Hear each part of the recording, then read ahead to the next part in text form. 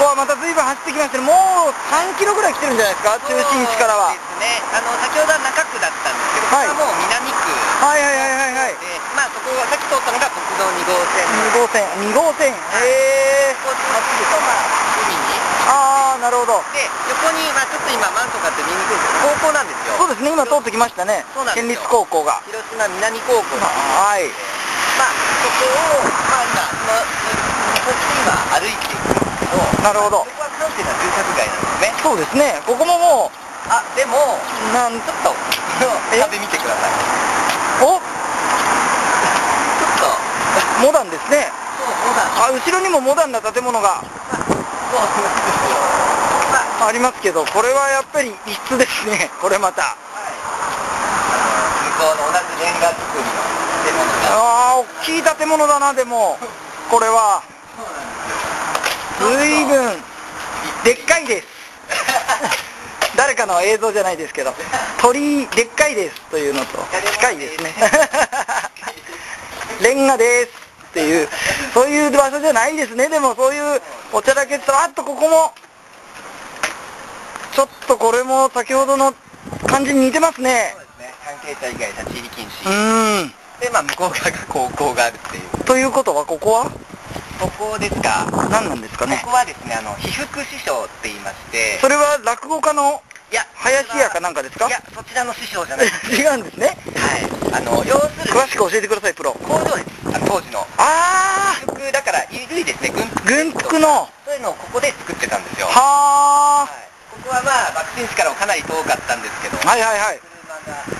大丈夫曲がりますね爆心地からかなり遠かったんですけどまあここも爆風とか被害に遭ってしまってはまではその日本軍の服衣類とかなんか他の雑貨類ですね。ああ作ったよまあ被服廠被服廠の支部だから被服師匠あっていう。なるほど。なんですけどまあそあこれは県のあれなんですね。県がああそうですね。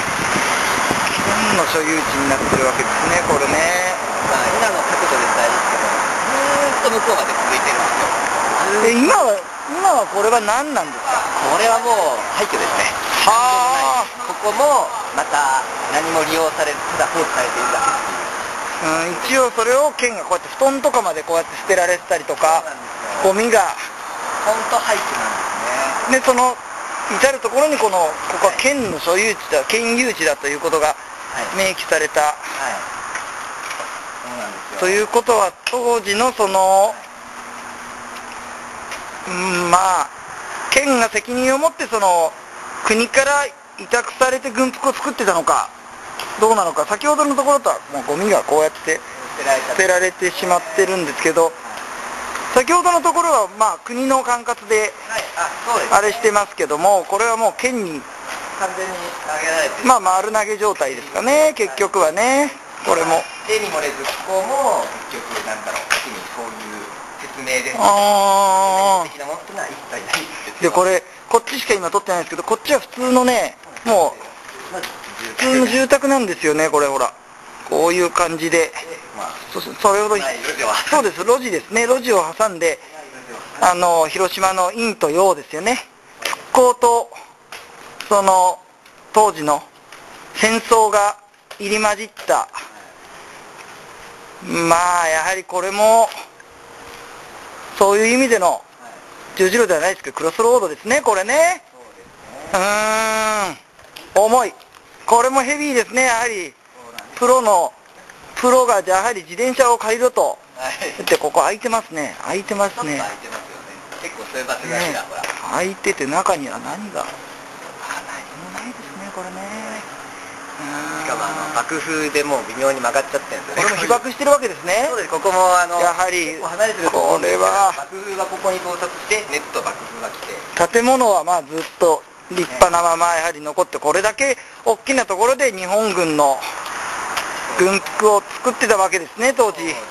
その軍服を作る前はまあ違ったんですかね。ここはもともとそうだった広島のそのまあ洋服の産業だったんですかねちょっと詳しくは分かりませんが後ろからあのまあが先日の取材で先に取材しましてまして、はいはい。そのあたりの、まあ、住民にお話を聞いたんです。ああ、どうですか、これは？まあ、本当のことはもちろんご存知で、はいはいはいはい。の復刻する工場だったっていうなるほど。だったんですけど、まあ、ここの上だけちょっと新しいじゃないですか。はいはいはいはいはいはい。ここの部分が、あの、原爆資料館に今展示されてるっていう。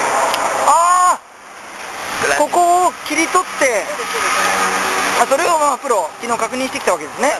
あの、パフュームの後に。あ